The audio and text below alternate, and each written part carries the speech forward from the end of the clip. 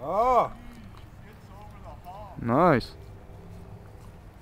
Mary Lynn showing why she's third on the money board. She has 197,000. That's quite a bit of money 'cause it's only half a year.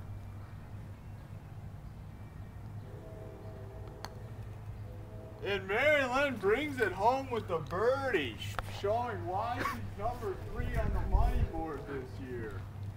What a game for Marylyn. Gives her 37, three under par. She's challenging for first place. I think she might overtake Matt. We're going to put her in second. Matt doesn't seem to like that, but he's just going to have to show it on the golf course. Washington challenged uh, the Cavaliers today, and the Cavaliers answered. The question is, can Matt answer back? We'll find out. Okay. Any